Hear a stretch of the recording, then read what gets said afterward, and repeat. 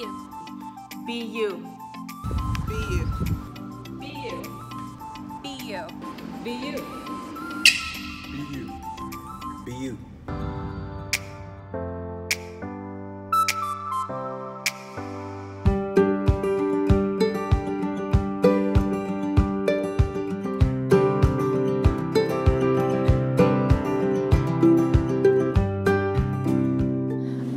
Go over how to make one of my favorite recipes, spinach balls. Not only is this a healthy recipe, but it's super fun to make, especially if you have kids at home. The only tools you'll need are a bowl and a spoon, measuring spoons, and a baking sheet. Make sure your oven is preheated to 350 degrees. Go ahead and grease the baking sheet with a bit of olive oil so you don't have to worry about doing it later. I'm working with frozen spinach, so I've already gone ahead and cooked it in the microwave. Spinach is high in vitamins, minerals, protein, and fiber, and is low in fat and cholesterol. In other words, it's great for every part of your body. Then go ahead and crush the saltine crackers, but make sure you wash your hands first. We're using whole wheat saltines because they have more fiber than the regular ones, which is going to be good for our digestive systems, keep us feeling full longer, and lower our risk of chronic disease. If you're doing this with kids, they'll love getting to help out and get their hands messy. In the bowl, you're going to mix the spinach, crackers, Parmesan cheese, eggs, olive oil, and garlic. Parmesan cheese is lower in fat than a lot of other cheeses, but don't overdo it. It's also high in calories and fat and should be seen as an every once in a while food. From there, you'll form the mixture into heaping tablespoon-sized balls and put them onto the baking sheet. Bake them for 10 to 15 minutes or until they're a light brown color. That's it. Serve them and enjoy. Just be sure to wash your hands before eating.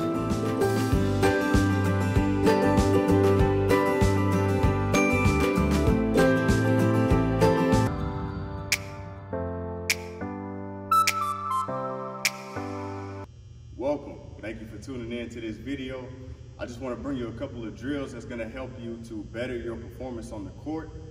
The first drill that we're going to do is called the lateral quickness drill. Now, lateral quickness is how fast you can move from side to side. This is very important when playing defense and you're guarding the person who has the ball. Maybe they're a good ball handler or they can dribble really well. So lateral quickness is going to help you to stay in front of them, whether they try to go left or right. It's going to allow you to move faster side to side and cut them off, whichever direction they try to go. So with this first drill, what you want to do is you want to set anything that you have at home available to you in a square. Doesn't matter if it's water bottles, books, whatever you have available. Right now we have cones, so that's what we're using. So what you're going to do is you're going to set them up in a square and you're going to run along the outside of the square.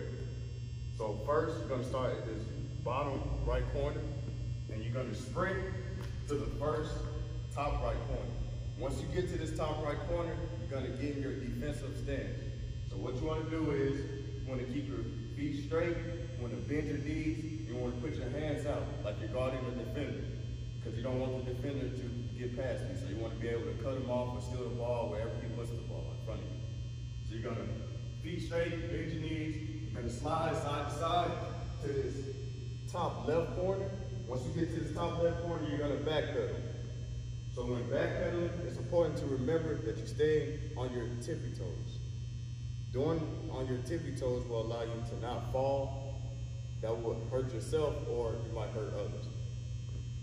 So I'm gonna get in my stance, I'm on my tiptoes, I'm gonna backpedal back. Once you get to this bottom left corner, you're gonna slide right back to this bottom right corner and the drill is done. Now this next drill is going to help you offensively.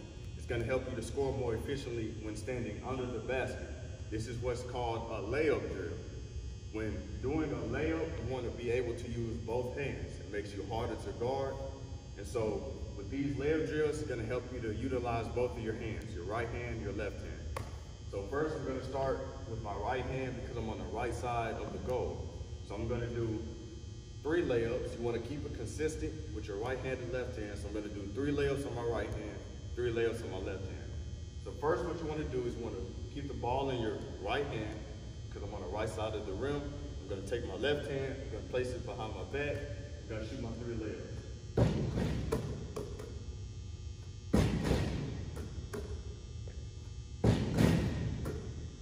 That's the right hand. Now I'm gonna move to this left side of the ring. Again, I'm on the left side, so I wanna use my left hand. So the ball's in my left hand, I'm gonna take my right hand, I'm gonna place my right hand behind my back. We're gonna do three layups on the left side. It's okay if you miss, this is what practice is for. And that's how you do the layup. So this next drill, this final and last drill we're gonna do, is called the free throw drill. Free throws are very important, whether you're going to be a professional basketball player or this is your first time playing basketball or you already play basketball, it's important to know how to shoot free throws.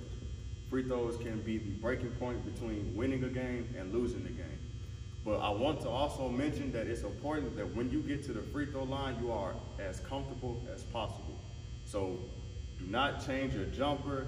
Use the same jump shot that you use. Take your time, breathe, and make sure that you feel comfortable when at this free throw line. So I'm gonna show you the type of steps that you can take to make sure that you hit your free throws.